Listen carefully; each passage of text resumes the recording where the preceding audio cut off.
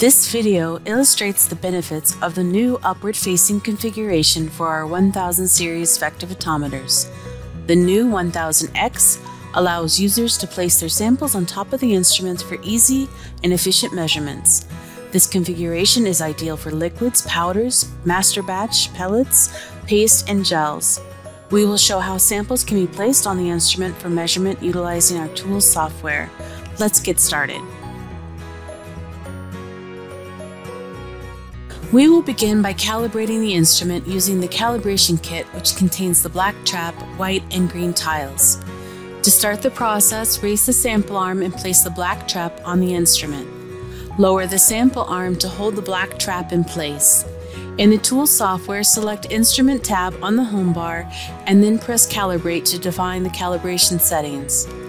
The Calibrate dialog will open so the user can set the aperture size, specular conditions, and UV settings. The user can select Calibrate within the tool software to start the black trap calibration or press the measurement button to initiate the black trap calibration. Lift the sample arm and remove the black trap once done. Place the white tile on the instrument and lower the sample arm. A Prepare for Calibration dialog window will appear for the white tile. Press the measurement button on the instrument to begin the white tile process. The user can also select Ready to start the white tile calibration process within the Tools software. Once the white tile measurement is completed, lift the sample arm and replace the white tile with the green tile for the final calibration step. A Prepare for Diagnostics dialog window will appear for the green tile. The user will select Ready to start the green tile calibration process. The user can press the measurement button on the instrument or ready within the software to start the green tile calibration. Once the green tile measurements has completed, the diagnostic results screen will appear showing diagnostic results. Select OK to close the window, lift the sample arm to remove the green tile, and your instrument is ready for evaluation.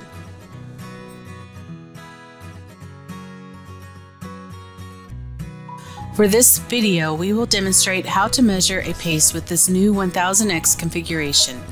Lift the sample arm on the instrument. The sample arm can remain in the raised position when measuring with containers. Place the container with your paste on the instrument. In the tool software, select the standard instrument button to initiate your measurement. Enter the standard name in the dialog box and select OK. Next, you will measure your batches, which will follow the same procedure. The in instrument, when used with the latest tool software, will also report back the sample temperature at time of measurement. This information can be viewed in a trend plot or within the grid on the desktop. For this video, we will demonstrate how to measure a semi-liquid like chocolate with this new 1000X configuration. Lift the sample arm on the instrument. The sample arm can remain in the raised position when measuring with containers. Place the container with your semi-liquid on the instrument. In the Tools software, select the Standard Instrument button to initiate your measurement. Enter the standard name in the dialog box and select OK. Next, you will measure their batches, which will follow the same procedure. The instrument, when used with the latest Tools software, will also report back the sample temperature at the time of measurement. This information can be viewed in a trend plot or within the grid on the desktop.